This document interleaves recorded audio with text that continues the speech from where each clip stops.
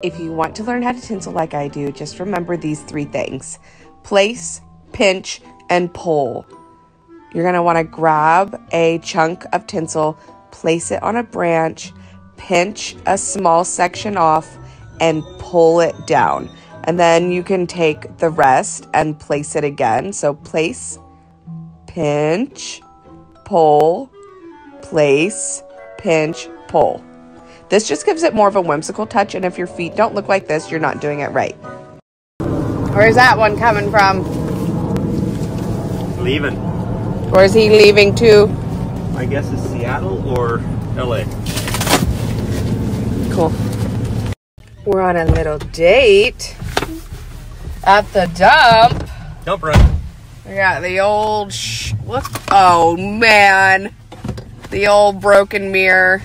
I know so many of you guys wanted me to keep it and try and like get it re-glassed or repurposed, but it's just I have a little PTSD with the entire situation and she's just gotta go.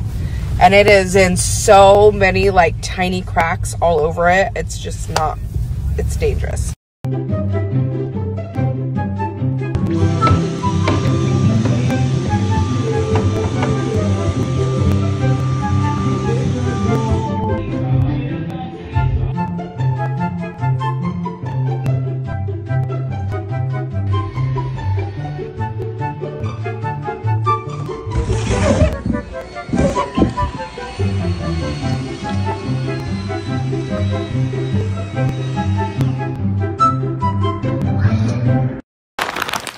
Okay, I got this because it was highly recommended by you guys the last time I shared my other vitamins, my Sunny Within, the ones that have like the liquid gold. You said to try the Grüns.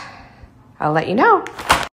I didn't try the chips, but I tried the popcorn. We got this from Trader Joe's. Andy wanted to try the stuffing seasoned. Try Is it. there anything in there? Five popcorn in there. Try it. We also oh, got seasoned Thanksgiving stuffing seasoned kettle chips. They're terrible. They're terrible. And they're terrible. Seriously, I, I I know.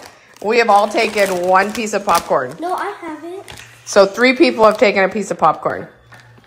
It looks bad. Just try it. Try it. It's supposed to be stuffing seasoned for Thanksgiving. Try it. You like it?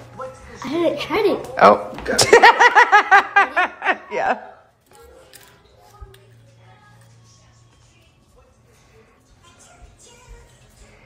You know what it tastes like? it tastes like you took that packet of hot top ramen.